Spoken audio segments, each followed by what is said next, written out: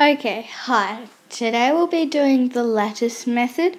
Now, this is the one that I find easiest, so you may not, but I do. So, today we can start off with 63 times 29.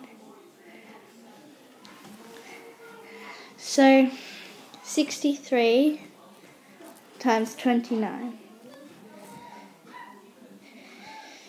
So that's 2 by 2. So we need to draw a little box, kind of like a window. And then you need to, you see those little, these squares?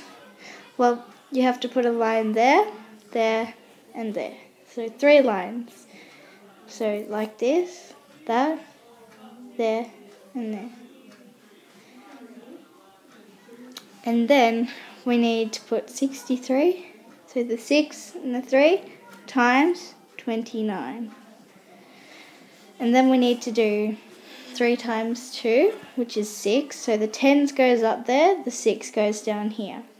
And then we need to do 3 times 9, which is 27. So the 10's up here and the 7 down here. So that's 27 and 6.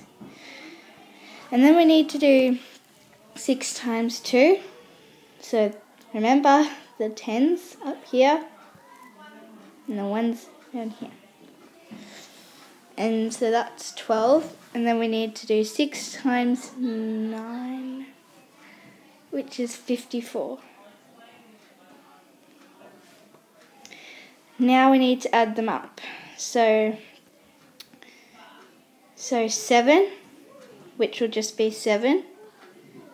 And then we need to do so 6 plus 2 plus 4, which will be 12. Should be 12. So we put down the 2 and we carry the 1. So that will be 3 plus 5, which, which should be 8. And then we don't have to carry, carry, carry anything, so it's just going to be a 1. So your answer should be 1827. Now that's how you do the lattice method. That's what I find easiest. So you can try a couple at home, make some up by yourself, and yeah, thank you